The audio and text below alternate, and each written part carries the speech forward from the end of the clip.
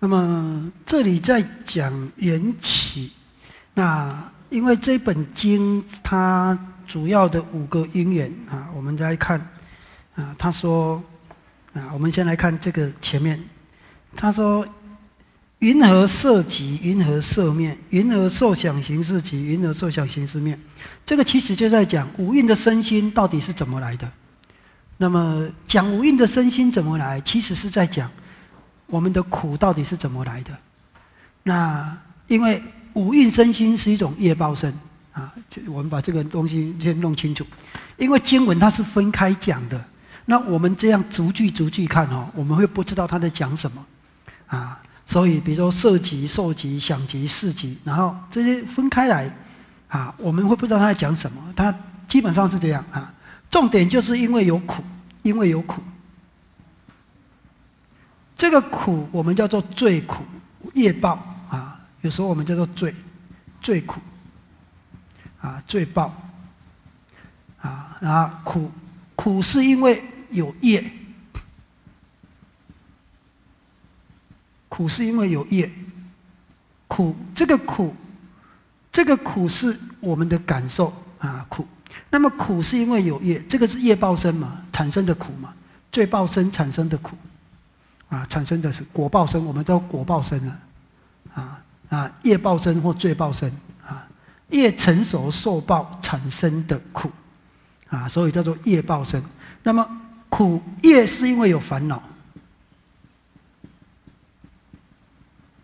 啊，那么因为有烦恼造业，业成熟就感召这个五蕴身，这个五蕴身就受苦。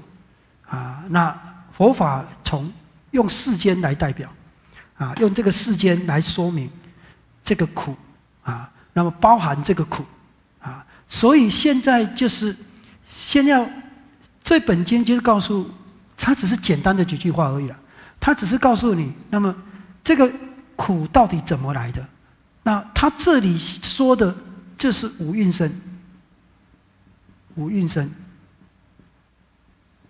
五蕴身心呐，啊，那么也可以讲五蕴身。那五蕴身心就是色受想行识。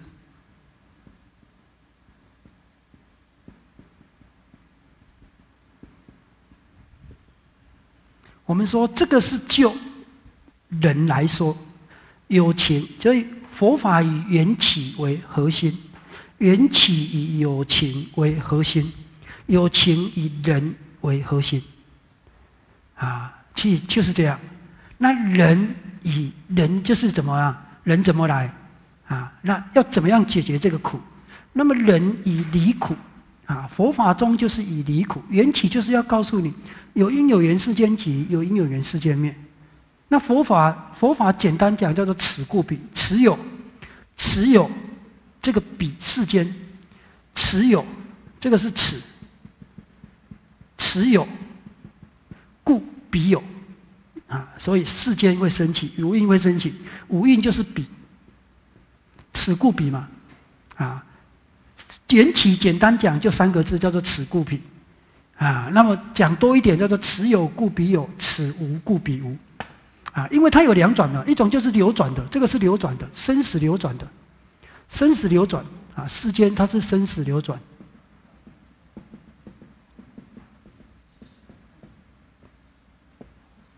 一个叫做还灭的，涅槃还灭的啊，这个灭跟道，这个是涅槃还灭的啊，这个我们一定要很熟，非常熟才可以啊，这个是涅槃还灭。啊，从这里讲啊，这个是涅槃完灭的。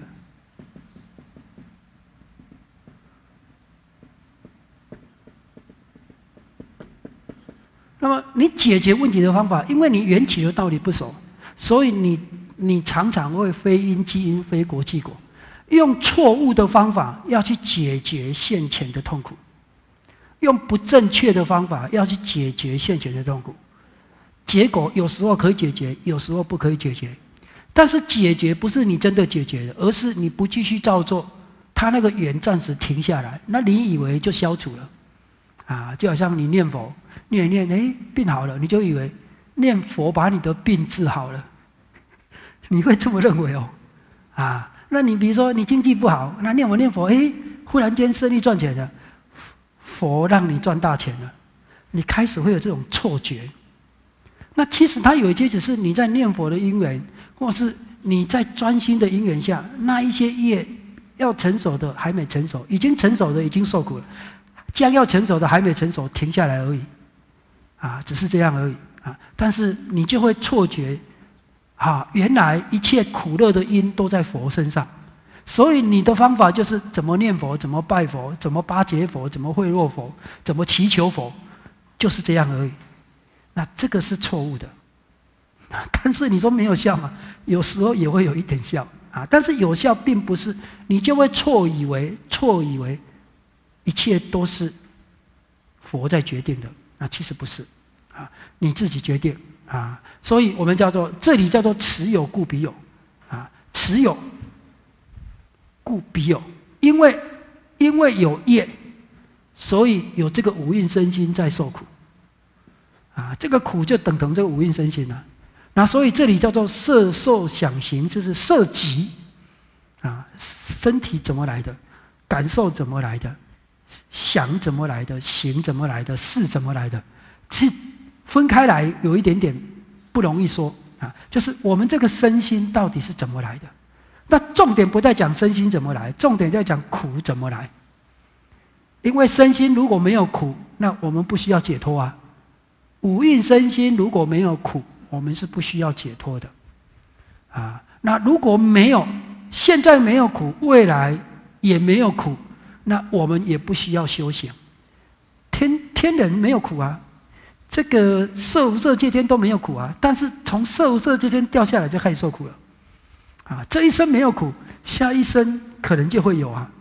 所以说，如果这一生都让我每一生都让我像这一生这样过生活，其实我觉得我也不用特别要求解脱哎，啊，就是这个意思啊。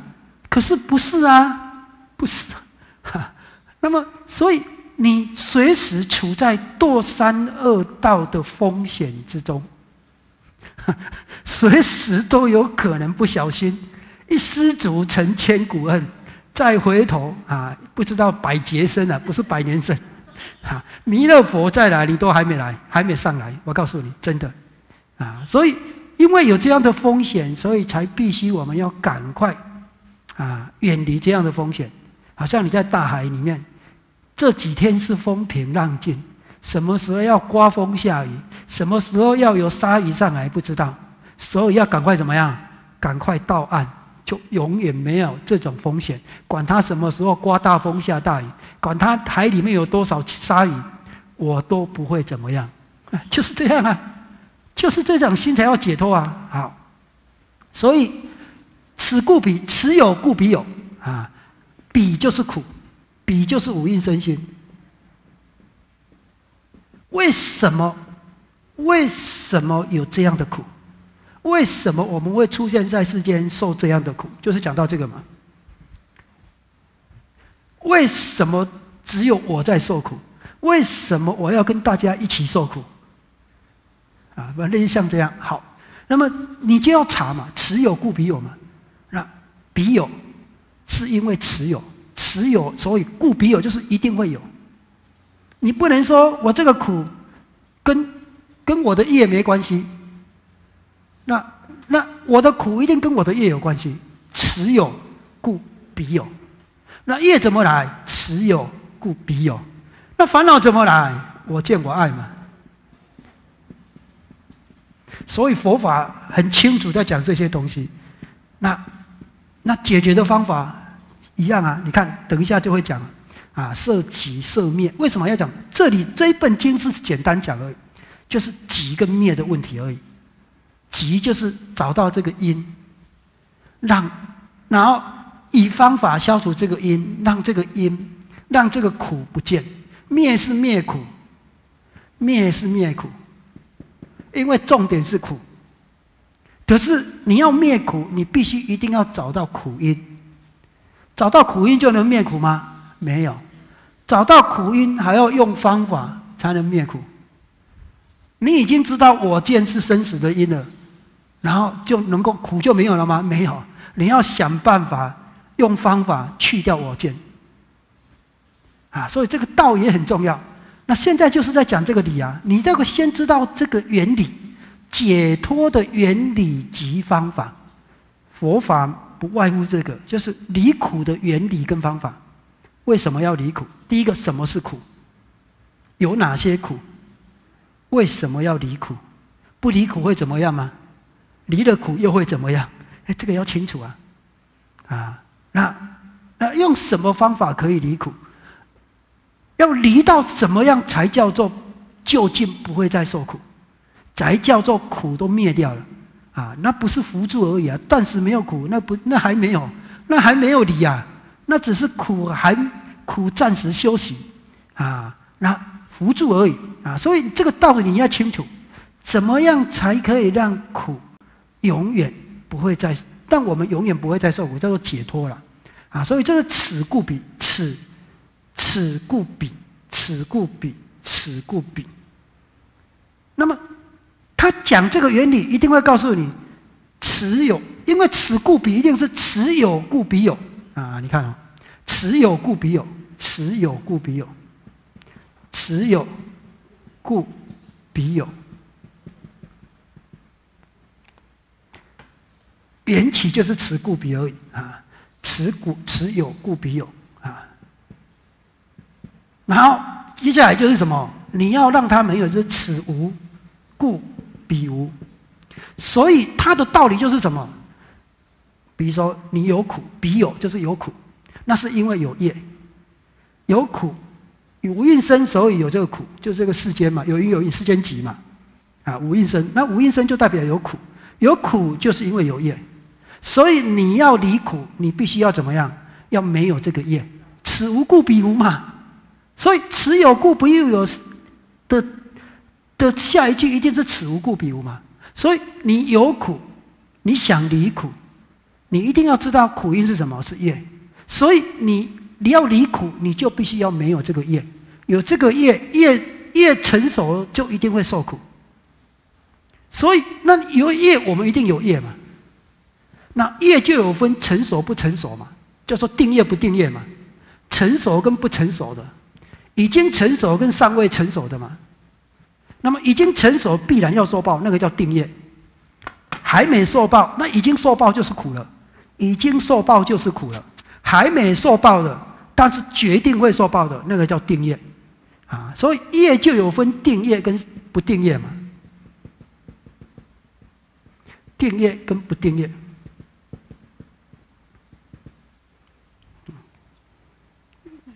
蓝色的。蓝色的好，它有分定业跟不定业。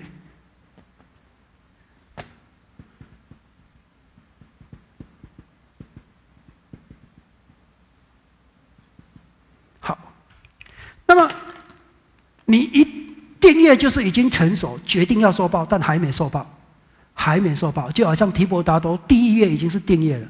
还没下地狱，但决定会下地狱，啊！那你六道，我们六道都有业，但是第一的业，如果我们这一生学佛，第一的业可能很小，就算过去生有，这一生也不会成熟，因为我们五戒十善，那么听经闻法，那么善业增长的话，基本上都是人天的业，但是会做人会做天还不一定，啊！业又有分很多种，啊，这个是一手果报，啊，又隐业跟满业，你升到六道的是隐业。啊，那么圆满不圆满，是男的，是女的，漂不漂亮，庄不庄严，有钱没钱，啊，头脑好不好，这个是满业，又不一定，啊，但是成熟他一定会受报，不能不受报，已经是定业了，不能不受报，所以业已经这个是已经受报的业，是苦嘛？比如说我们现在做人，我们现在做人，这个叫做五蕴嘛，这个这个是罪报身嘛，业报身，我们这个叫做业报身嘛，啊。说罪报身比较难听，说业报身可能比较好听啊。我们这个是业报身，业报所感得的身，业报的色身呐啊，业报的身，身就是指身心呐啊，业报身。那这个是已经成熟，已经受业报了，是男的，是女的啊，生在台湾，生在外国啊，有什么样的父母，有有什么样的，有什么样的家庭啊，然后然后长得高矮胖瘦，反正这些啊都。他基本上是已经成熟的，那这个是从业来，业来，过去的业现在成熟受报，那未来的业呢？看现在有什么业定业。那么你学佛了，就是让那个不定业，让那个不定业不成熟，当然是恶业，或是流流转生死的业。那三恶道的业，我们都有，我们身上都有三恶道的业，不会没有。但是自从我们学佛之后，我们五戒，那么就不堕三恶道。我们持五戒就不会堕三恶道。要持哦，不是受五戒哦，受而不持，依然堕三恶道。受之后要持，持是因为你有受之后，你开始持，啊，皈依皈依佛不堕。地狱皈依法不堕恶鬼，归生不堕畜生，并不是你皈依了就不堕三恶道。皈依是你念念时时，每一天都向佛学习，依法修行，这个叫皈依。不是我哪一天、哪一年、哪一天在哪个道场跟哪个师傅皈依，我已经皈依过了，啊，不是这样的，啊，那皈依就是皈是归向，向什么？向着佛学习。依是什么？依着佛，依着佛说的法修行，啊，那你必须要这样。皈依是时时在皈依，天天在皈依的，啊，不是你哪一年哪一月哪一月皈依的，那你皈依过你就不堕三恶道了，这么好，啊，那我要多皈依几个，啊，那不是这样子的。所以有因有持有故彼有，他告诉你怎么呢？你有这个你就有这个，你要这个没有，必须这个没有。好，那现在这个怎么来的？啊，这个是从这个来，所以你要你要没有这个，你必须没有这个。此无故彼无嘛。缘起为什么重要？就是不会让你非因即因，非果即果，找到正确的方法解决真正的问题。啊，那所以我才讲嘛，上一节课讲嘛，所有的人因都是什么？因都在佛身上，苦乐的因都在佛身上。所以，因为都在佛身上，他能够与苦，能够把苦，能够娱乐，啊！所以我多念佛，多拜佛，多供养佛，多祈祷佛，我的苦就会少一点，我的乐就会多一点。这个就是借进去，非因即因非果。你说念佛很好，好是好，佛是好，念佛是好，不好的就是你的心不好，不对。就好像出家是好。可是出家的心不对，虽入圣教，犹行邪道。于谦之师您说的，虽在虽念佛号，犹是愚痴啊！佛是觉悟的嘛，智慧的嘛。但是你虽然念佛，但是你是愚痴的。你你不是你不是多闻圣弟子，你是愚痴无闻凡夫。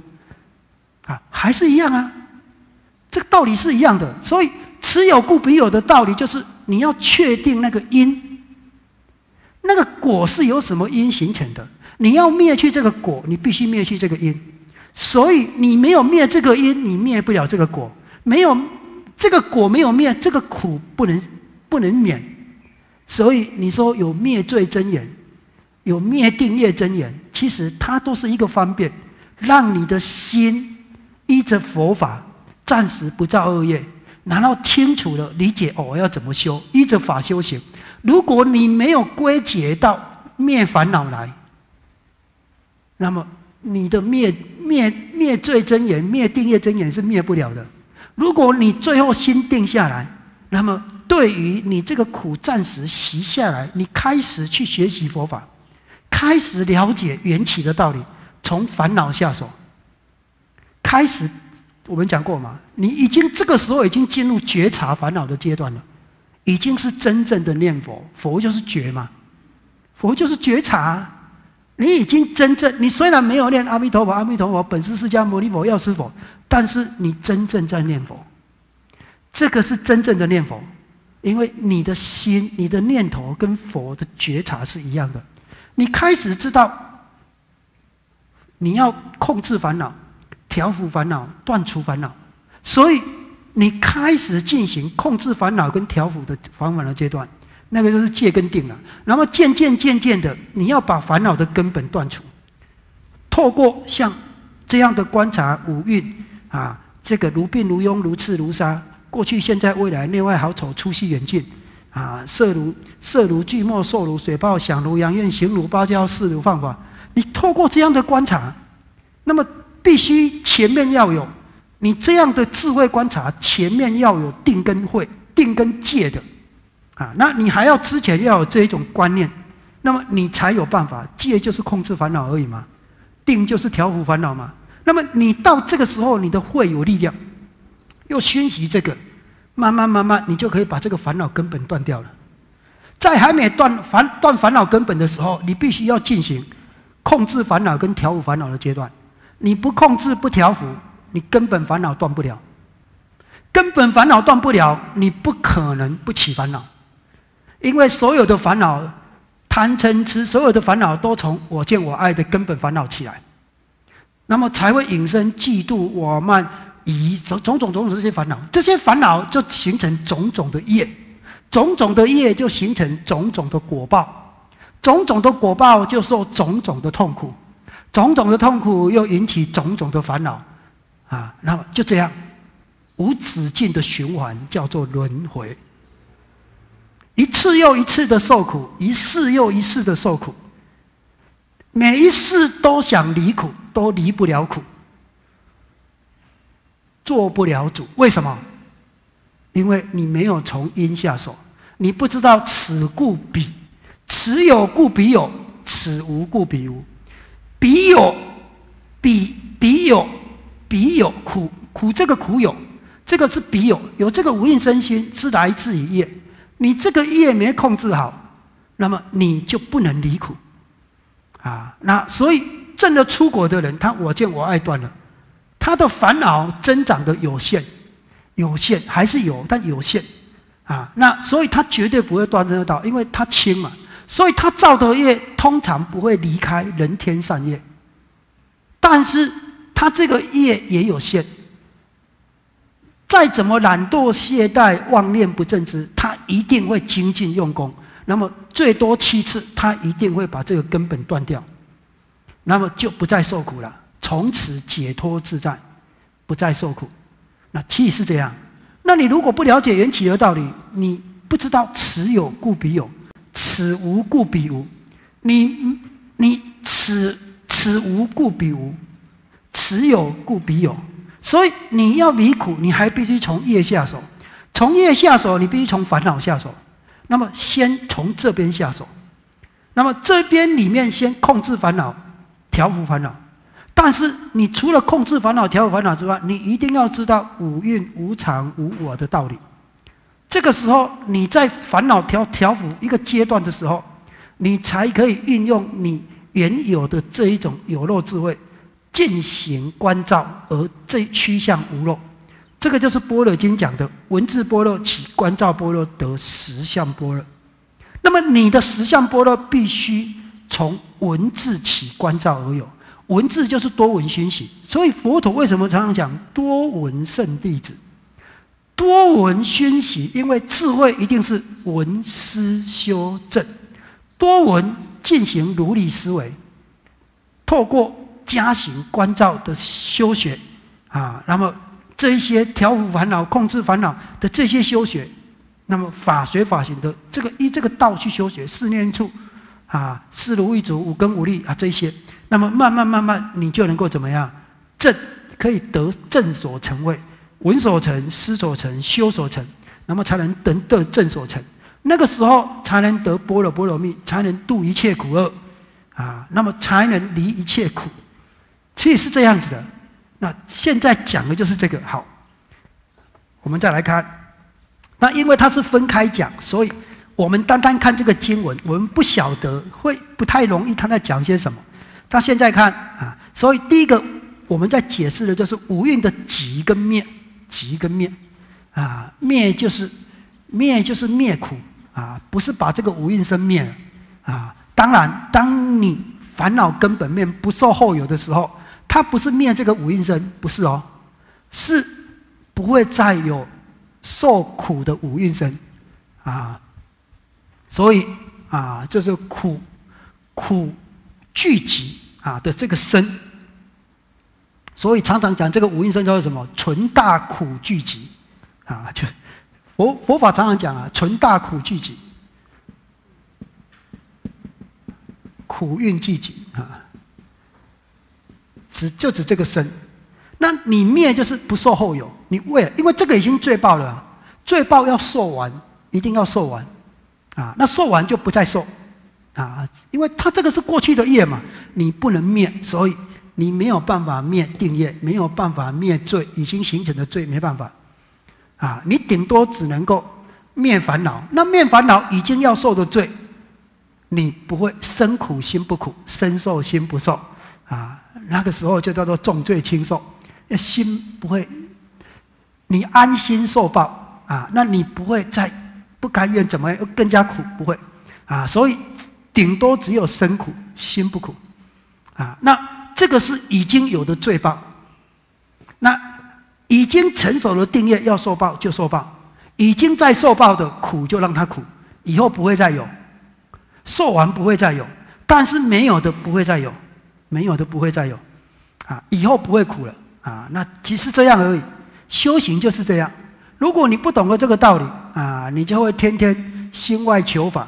啊，什么都求啊，就是从来没有求过自己啊，就是要怎么修行啊？所以重点在灭烦恼，不在灭定业，不在灭罪。灭定业灭罪是方便说，主要还是要让你的心收摄在这个咒语、这个佛号上啊，让你的心定下来，然后定，然后能够生慧啊，静下来看会不会想的比较多，想的比较有道理一下。所以缘起是很重要的道理。啊，那么也一般人不容易理解。可是我们每次每次都这样去观察，这样去观察，你就能够断戒进取。戒进取不断，身见不可能断，四谛疑不可能断。三见就是戒进取、身见跟疑嘛，就这三个啊。那身见要断，你一定要有正确的方法。你不关照无蕴。你没有正确的，你不知道这个道理怎么断身见？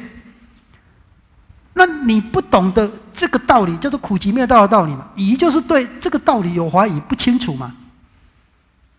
那么不清楚是根本原因是来自哪里？来自于你错误的认为，你非因即因，非果即果。你用一辈子啊念这个灭定业真言、灭罪真言，然后能够要。解脱那是不可能的，你念一个解脱咒也不可能解脱，啊，那类似像这样，那么所以你一定要理解，所以疑就是对四谛有爱，对于此有故彼有，此无故彼无，苦跟集，灭跟道，这里就像集跟灭一样，啊，集跟灭就是苦跟集，啊，那灭就是有方法来灭这个，其实就是苦集灭道的道理。那缘起四谛其实是一个理，这两个。你没有确认，你非因即因，观念错误，你就不可能知道苦集灭道的道理。不知道苦集灭道的道理，你是不可能没有道，你不能断身见。身见不断，你轮回不可能断，轮回不断，苦不可能断，就这样。啊，所以啊，非因即因，非果即果，这种借进去很重要。可是多数的佛教徒。多数的佛教徒就认为啊，我只要这样一直做下去，我就会解脱，会怎么样啊？那么多数都是非因即因，非果即果了啊。那么很多都是回到啊这个佛陀的那个婆罗门时代，叫做济世万人，婆罗门至上，吠陀天启，很多都回到这个概念啊。这个是婆罗门教的三大纲领嘛。婆罗门至上，啊，就是诵经的时候，谁来诵功德最大？比丘，特别是出家久的比丘，啊，那么最好是出家五十年的，这来诵哦，那么诵一部比别人诵很多部很有力量，啊，加持力比较大，这个叫做婆罗门至上的概念，啊，因为他是婆罗门种的嘛，所以他诵经最有力量嘛，所以我说嘛，多数的佛教徒在家也是这样啊。在家出家很多都这样念，都有观念的，啊，诵经出家比在家诵殊胜，出家人里面比丘比比丘尼殊胜，比丘里面长老比那个新学比丘殊胜，一个抵十个，啊婆罗门至上的观念。就算他殊胜，也是他自己殊胜啊，跟你有什么关系？他的他诵的经可以给你吗？他诵经所得的智慧可以传给你吗？啊，你账号给我，我传给你，你就收到了，哪有那么好？啊，不可能。他送也是他送的，你送也是你的啊，啊啊，所以殊不殊胜不知道了，并不是看年资的，啊，并不是看接纳的，啊，不是，也不是看有头发没头发。也不是看性别，也不是看老跟少、年轻跟年少，不是都不看这个，看你的心，你有没有跟定慧相应的心啊？那来看你送这一本经殊不殊胜？而且个人送个人得啊，他殊胜关系不到你啊，你殊胜关系不到他，你可以影响他，但是他的殊胜没有办法传给你，他可以影响你，启发你是可以。啊但是多数的人有婆罗门至上的观念，所以专门在找那一种有修行的婆罗门。这个经过大家印证的婆罗门，那，佛教徒就是专门找那个有修行的法师来诵经，啊，大家公认的法师来诵经最有力量，啊，其实就是这样。那其实这种观念是婆罗门至上的观念。那吠陀天启啊，就是。这本经本身是佛说的，啊，这《吠陀天启》是《吠陀经》是吠陀说的，本身就有神力，啊，那么你只要把经从头诵到尾诵完，就有功德了，啊，这种就是《吠陀天启》的观念嘛，神话，神说的话，啊，那所以啊，不管你诵什么经啊，你只要专心诵就有功德，也不能讲没有了啊，但是这种观念就变成诵经就是修行。啊，好好诵经，专心诵经，不起恶心的诵经就是修行，不是？诵经只是让你知道怎么修行，它不就是修行？啊啊，它这个很这个很重要。那么以诵经念佛为修行，念佛不就是修行？念佛是启发你向佛学习的心，啊，以以佛为模范来修行，啊，你天天念佛。不学佛，那么怎么可能成佛呢？啊，不可能！佛自己都要灭苦才能成佛。你不用灭苦，你念佛就能成佛。你比佛还厉害。你这一尊佛是天下无敌第一的佛，不可能啊！啊，那所以这种观念一看就知道啊。所以另外一种啊，就是济世万人。济世万人就是这个印度时代种种的法会。解决种种的问题，啊，你要超度啊，就地藏法会，啊，你要消灾延寿，就药师法会，啊啊，那你要你要做什么啊？就有各式各样的法会啊。你要祈现在很多在祈雨啊，祈雨有这个有这个祈雨的法会啊，这反正所有的问题都可以透过种种的法会来解决。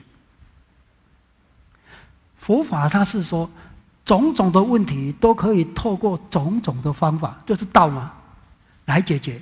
可是你的道就是一场法会，一场仪轨，啊，大家跟着做，跟着念，跟着拜。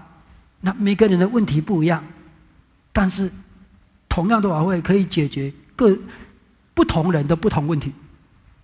可能真的可以吗？不可以，不是这样子的。但是有没有效？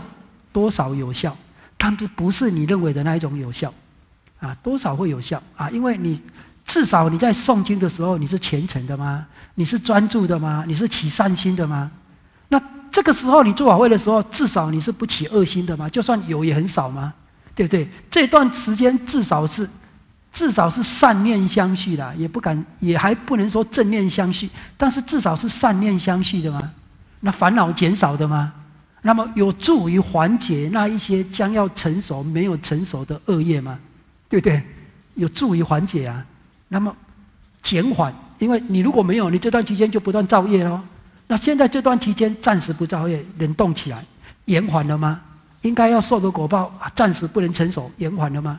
现在的善心增加了吗？啊，虽然是有漏的，但至少也是善心嘛。但是不是解决问题，只是延缓问题的加重跟延迟问题的发生而已，但是并没有解决掉问题。这个道理要知道，啊，所以你要真正解决问题，你必须怎么？你必须从烦恼下手。那烦恼要真正解决，必须从我见下手。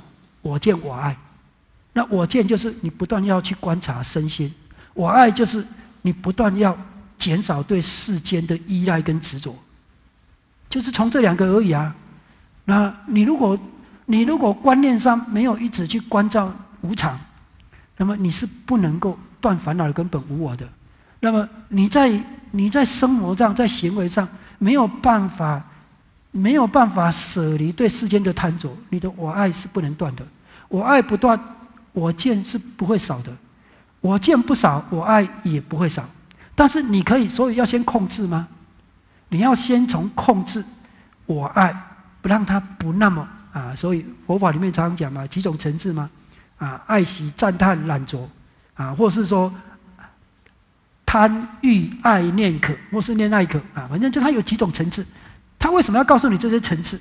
要让你渐渐渐渐的减轻、减少，啊，那么这样一天一天、一月一月、一年一年，然后再多一世一世，我告诉你，真的也不用几世了，啊，你就渐渐渐渐向解脱了，啊，真的也不用说，也不用说很多事，甚至有些人不用很多年，啊，那么就渐渐渐渐这样，啊，你会发现到。很现前可见的，你会发现到，不管世间怎么变化，不管事情怎么变化，你的心情变化都不大。总重点就是三个嘛？缘起就是这样嘛。你要观人情的变化、事情的变化，然后要看自己心情的变化。重点是这个身心受想行吗？等下这边会讲啊，受想行不断对于你所爱着的世间，因为它产生变化，开始。你心情不断的变化，有受想行，啊，那么这一些，这一些就是烦恼，烦恼不断就推动去造业，行不断推动去造业，造业没有停止的烦恼，没有停止的造业，它就会不断成熟，不断成熟，就会有后有，然后现前的果报会成熟，现前的业会成熟，未来的业会渐渐成熟，就形成我们不断轮回的因。其实他在讲这个道理啊。好，我们再往底下看啊。那因为这个字文字简单啊，但是它道理就是这样。他说：“云而受想行识集，云而受想行识灭。”啊，其实就是苦集苦灭啊。其实就这样而已。爱喜集是色集，爱喜灭是色灭。把这个念完啊。那么触集是受想集啊。触灭是受想灭啊，那这个很明显，前面是写色，后面是写受想行，然后再加上名色即是四即，名色灭是四灭，那么这个五蕴它把它分作三个地方讲，啊，就是色受想行识，那么分别连接爱喜名色，爱喜触名色。那么基本上应该，它是这个五蕴身心，应该都是这样子的。比如说，啊，爱喜触名色事，啊，这个爱喜就是爱，一般就是爱，触名色事。好，那我们知道这个啊，我们知道这个缘起啊，它这里是这样分的啊。我们来看，它这里的五蕴是这样分，五蕴。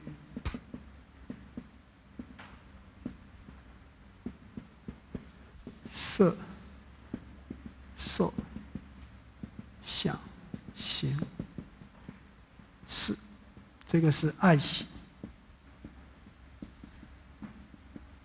啊，这个是名色，这个是触，触及啊，爱喜及因啊啊，这个因，然后触及。升起，这个急就是升起啊，它有时候叫做转啊，有时候叫升啊。那么是名色，名色急。好，这里应该是这么说，我看一下，应该没有写错啊。这个爱喜急是色急爱喜灭色灭，爱喜触即是受想行即啊，对啊，它基本上是这样。然后触灭是受想行灭啊，那么什么即什么灭，就是持有故不有的概念了。你为什么有这个？因为有这个。你不想要这个，你必须要去掉那个啊，它就是这样。那名色即是四即，名色灭是四灭。比丘如是色即色灭，是为色即色灭。好，要讲这个受即受想行识即受想行识灭，是为受想行识受想行灭。好，那我们这个要来对照，他这里讲的就是啊三个啊，主要是爱、触、名色啊，然后是好。那但是一般缘起他是这么说哈，他这可能是把它分开说的。啊，分开说。我们知道啊，如果从缘起来讲，无名、缘行、行缘事、事缘名色、名色缘六路、六路缘处、处缘受、受缘爱、爱缘取、取缘有。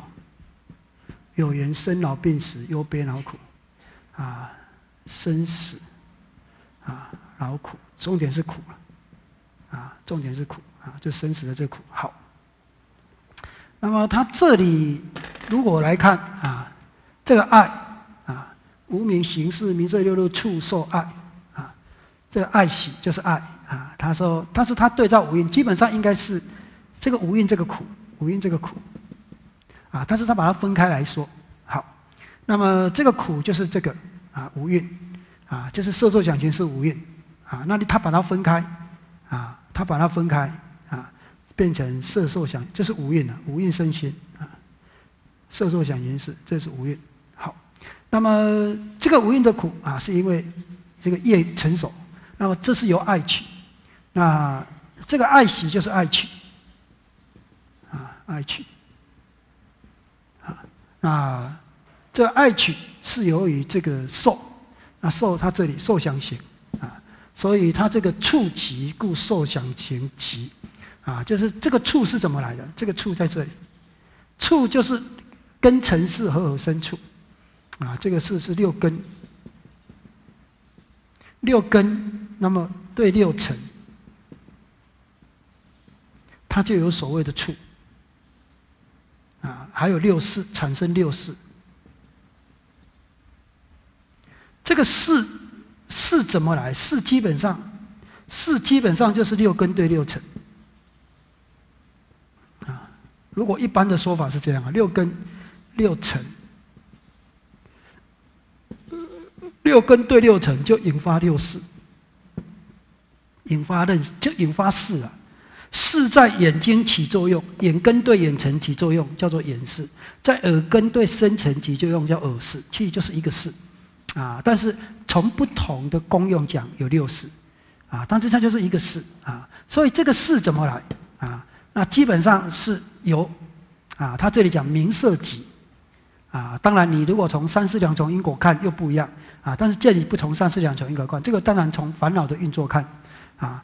基本上就是六根对六尘，那么产生啊，那么他说名色集啊，那基本上是根尘世啊。那名色我们说名色一般有些从五蕴上说，有些就是名名是指怎么色受想行色就是这个色啊，所以名色四缘名色，所以这个名色就是色受想行识，它就形成一个五蕴。啊，那么也有这么样一个说法的。好，那它这里的主要的意思啊，它基本上有这三个嘛，色啊，这个是五蕴，五蕴就是色受想行识，啊，色受想行识。那么他说色即故爱喜即，啊，那么色是来自于啊，那么色是来自于这个爱喜，啊，爱喜，那么。如果我们这样来解释的话，就是说，我们这个身体，如果它单单，因为它分开讲嘛分开讲的话，我们就可以这么看啊。这个色是指身体，瘦身嘛。身体的增长啊，来自于你对于这些食物啊，一般我们叫四食嘛，有主要是断食跟促食啊，身体的这一些按摩啦、澡浴啦，那饮食啊、饮料啦这一些食物的滋养，食物的滋养啊，就是这种爱惜，那么来，你对于这一些、这一些、这一些滋养你身体的这一些的爱取，那么造成你色身的增长。那当然，重点是我爱啊。那么这个我们叫做事实，意事实啊。那么才造成你这个色身不断的增长啊，受暖事。那么他说受想行，这个心所，这个是主要是心所啊。这个如果我们把它讲心，讲心所，心所怎么来的？受想行，感受、印象跟我们的决定作用啊。我们要决定要做什么，做什么，透过我们的感受跟印象。让我们决定要做什么，啊，那么意志啊，我们叫知情意。那么主要是因为触，有这个触，所以就有这个受想行。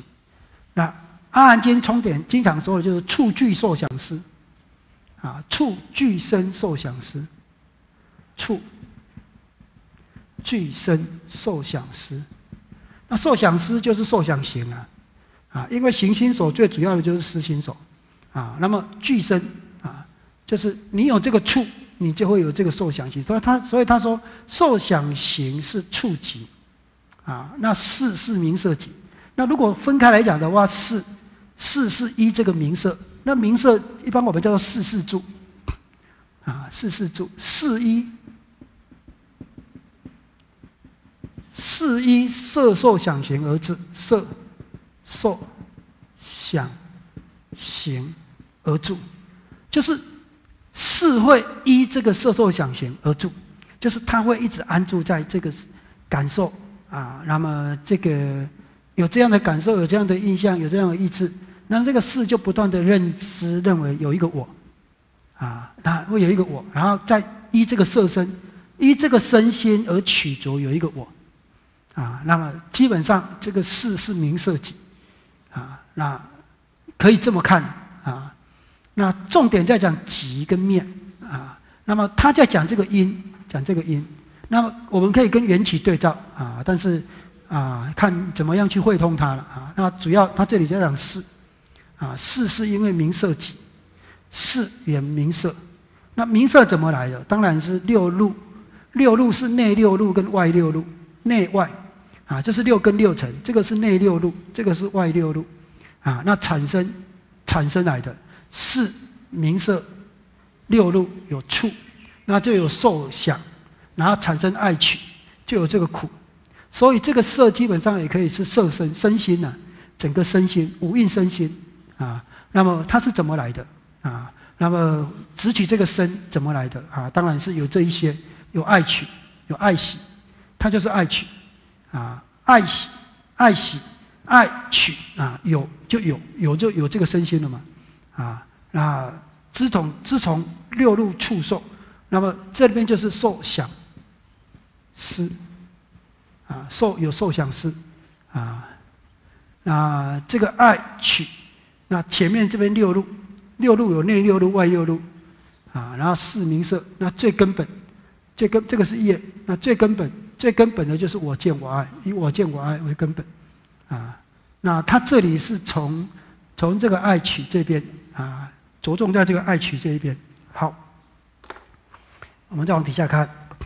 啊，因为这个五十六经讲的跟其他的有一点不一样，而且它很简单。啊，但是它的重点其实就是讲极跟面，明色极，明色面。啊，触极，触面，爱喜极，爱喜面。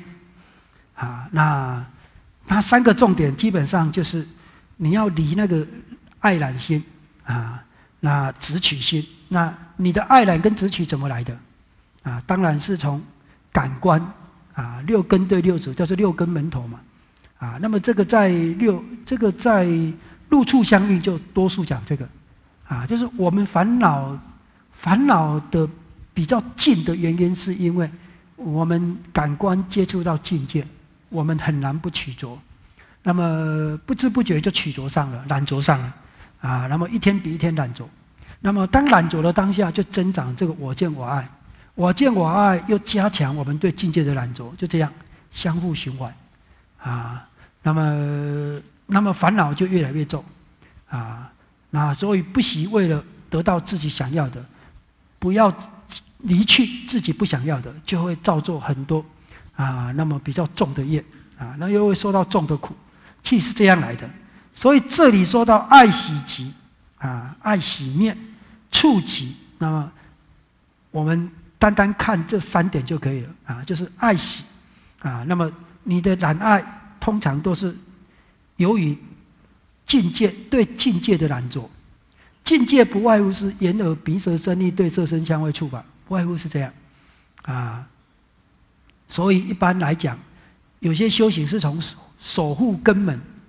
啊，叫做根律啊，那么守护根本下手啊，也是也是因为因为烦恼的起源六根门头啊，是贼进入的地方，贼就是烦恼啊，就是你你家有六个门啊，那么他随时开哪一个门进去你不知道啊，然后常常进去里面就偷你一些东西走了啊，比如说你眼睛看到这个人你很讨厌，那当下你的慈悲心就被偷走了一点啊，你的忍耐心又被偷走了一点。啊，就这样，啊，你的智慧心就被偷走了一点，你不知不觉的这样偷。当你起烦恼的时候，你就失去耐心，失去安定，失去慈悲，失去智慧，很简单的道理嘛。啊，每天偷，每天偷，还有他不断偷，他不但偷你比较宝贵的这些德性，他还给你留下一些乐色，啊，你清不完，啊，就杂一点烦恼，一点烦恼，那通常是这样啊。所以啊，那再下来，这个是处。啊，就是就是讲这个道理，六根门头啊，你要你要关注这个地方。他要跟你讲几个灭，就是因在这里，灭苦的方法，原灭苦的关键在这里。他跟你讲这个几个灭，此有故彼有的道理嘛。啊，那名色己就是我们这个心啊，这个身心都是由这个事啊，这事到底怎么来？为什么认为有一个我啊？就是只取这个色受想行。啊，我感觉怎么样？我印象怎么样？啊，我认为怎么样？啊，我自己长得怎么样？啊，反正就是在这边呐，就是在这边不断的操作，不断的造作运作了啊。那这样就我见我爱就不断的增加，所以如是色即色灭为色即色灭，其实就是受想行识啊，无蕴的极灭了。那么这样我见我爱增长了之后啊，不断的不断的烦恼造业啊，就不断有下一下一次的五蕴生又有。啊，就这样，它不一定是五蕴，但是就是身心了，啊，所以他这里讲啊，五蕴起灭。佛说此经，诸比丘闻佛所说，欢喜奉行。好，那这个是看起来简单的一部经，但是因为他的他的说法有一点点跟我们说的不是那么完全一样啊，那所以有时候我们不容易从这一部经理解到。他到底是在说什么啊？那其实就是讲讲这一些持有故彼有的道理而已。那么让你知道啊，你要从哪一个，就是让你找到下手处了、关键处了啊、修行处了啊，其实是这样。好，我们讲早上讲到这里。